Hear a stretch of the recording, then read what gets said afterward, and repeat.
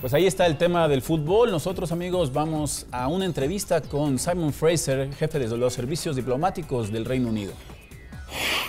Nos encontramos con Simon Fraser, que es el jefe del servicio diplomático del gobierno británico, a quien nos gustaría preguntarle qué hay de diferente en esta tercera vez que Londres es sede olímpica.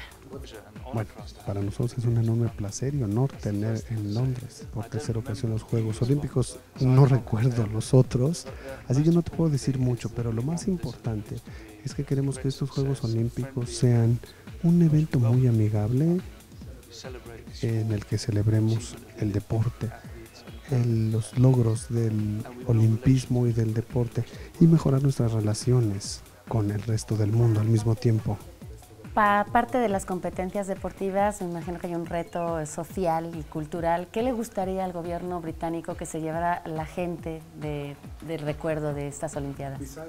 Bueno, primero que nada queremos que la gente venga a Londres, que la pase muy bien, que disfrute los Juegos Olímpicos, que disfrute la ciudad y que disfrute todo lo que Londres ofrece. Tenemos muchísima cultura en el país Londres es una excelente ciudad, hay muchas cosas que hacer, museos, eventos culturales, muchos de ellos vinculados con los Juegos Olímpicos, los, estadios por sí mismos. La arquitectura va a ser algo digno de celebrarse, entonces habrá muchos aspectos sociales y culturales. Se han tenido que enfrentar a muchas cosas en todos estos años de preparación. Según ustedes hasta ahora, ¿cuál habría sido el reto mayor, la dificultad mayor, algo que hayan dicho, esto ha sido realmente un reto. Bueno, ha habido muchos retos. Primero que nada, hay que construir un estadio, hay que organizar. Y iniciar desde cero ha sido un enorme esfuerzo, gran esfuerzo de ingeniería, pero ha sido un enorme éxito. La organización va a ser todo un reto más. El tema de la seguridad pero desde la organización lo que tiene que ver con la Secretaría de Asuntos Exteriores.